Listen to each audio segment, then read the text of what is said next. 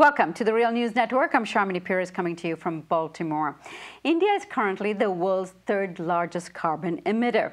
With the UN climate negotiations in Paris just around the corner, it is one of the last countries to submit its plans to help stop climate change, partly because many developing countries are struggling to balance economic growth to achieving basic living standards for its population while trying to also lower CO2 emissions at the same time. Planning for sustainable growth and the cost of switching to renewable energy are some major factors faced by Indian policymakers.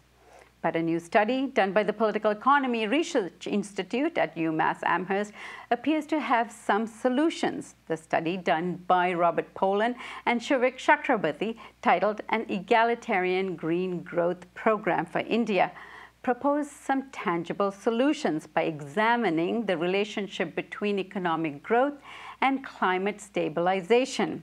Now joining me from Amherst is one of the authors of the study, Shouvik Chakraborty.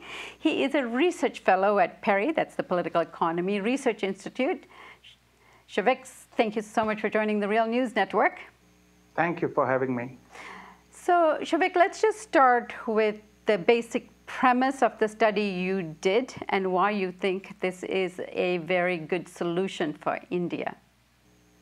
So the main idea behind this study was actually to find out whether uh, we can advance an economic uh, policy framework through which the Indian economy can sustain a healthy trajectory growth path over the next uh, couple of decades so that it can, through this uh, path, it can generate more employment, achieve energy security, and also, like you said, uh, reduce carbon emissions because it's not only for the global thing, but also like most of uh, the health situation in India because of the pollution is not good. Like many of the cities like Delhi, Raipur, Patna were identified as one of the most polluting cities in the world. So what we found was quite interesting our results show that if the Indian economy is assumed to grow at 6% per annum over the next 20 years, and it spends only like 1.5% of its gross domestic product on this clean energy program, then it would actually be able to generate jobs and also along with it, uh, reduce emissions. It would act uh, from the business as usual model, after 20 years, one finds that it's emitting almost half what the business as usual scenario would look like, which is uh, like almost uh, now India is presently emitting like 1.5 metric ton uh, per capita, and after 20 years also it will be at the same level. So, so you have an economy which is growing at 6% without contributing anything, without uh, adding anything to these carbon results. Now, give us a sense of uh, what policy guidelines are coming out of your study that is, is perhaps immediately implementable. So, to put it very simply, we are uh, proposing to the Indian government to spend uh, like 1.5% additionally of its GDP on this program, of, out of which like 1% for uh, creating capacities for renewable energy and 0.5% to achieve energy efficiency. So in terms of absolute numbers, this comes in total to around $60 billion per year, out of which around $40 billion for generating uh, capacities for renewable energy and $20 billion for energy efficiency. Actually, for the Indian case, the very interesting scenario is that India can do a lot to achieve in terms of energy efficiency development. And uh, in, a, in a recent interview we did with James Boyce uh, in terms of the uh, emissions in uh, Delhi itself, you know, particularly school children, so affected by the uh, level of smog in the air. Um, obviously, it is in the interest of uh, Indian policymakers to ensure that the CO2 emission levels are reduced. And here your plan is proposing some very uh, tangible ways in which it can dramatically reduce it. Um, give us a sense of uh, uh, the achievements uh, that your recommendations can have on, on the Indian economy as well as in terms of people's health. So the first major finding of this study is uh, that not only in terms of emissions, like I told you earlier, that in terms of emissions, while the business uh, as usual scenario is showing like after 20 years, assuming a growth rate of 6%, we can, uh, India will have an per capita emission level almost double the level it has today. What we are saying is that following our growth path, like spending 1.5% uh, of its GDP, it can actually keep the emission level at the same as it is today. So even that growth uh, trajectory won't have any impact on the on creating more emissions for the economy.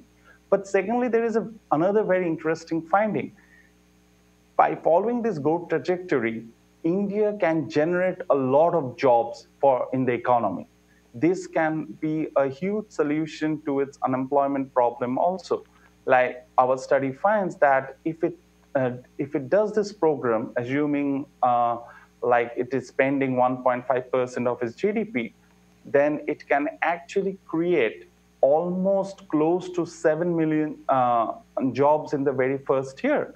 And uh, over the 20 year uh, period, assuming a productivity growth rate that the laborers uh, will learn by doing, and also that India is not does not have a developed industry on this front. It might have to import some things from abroad also. We find that over the 20-year period, India can generate almost close to 20 million jobs, with additional jobs in the economy.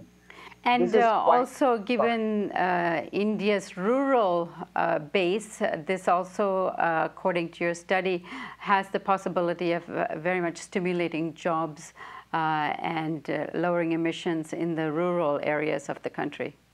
Exactly. And there is another third very interesting point, which is often missed out, that in many of the rural areas, uh, electricity or energy is not accessible. Indian population, almost 30% of the Indian rural population does not have access to electricity or any form of, uh, the most form of energy they have is uh, like the woods and all this which they burn.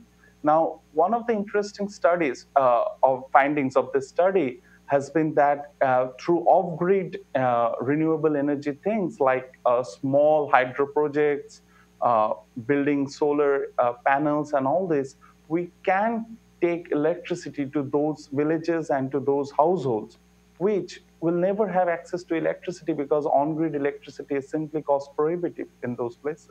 And in a hot country like India, uh, solar energy seems to make perfect sense. Oh, yeah, absolutely. And um, in, in fact, uh, also in terms of wind, uh, because it has a huge coastal belt, like you said, the solar energy, especially in the rural areas, in uh, desert areas, it might help to generate a lot of electricity and energy.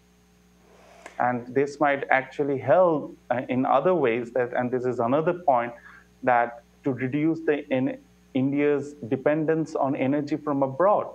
It can develop its own energy security. It can produce the energy on its own land.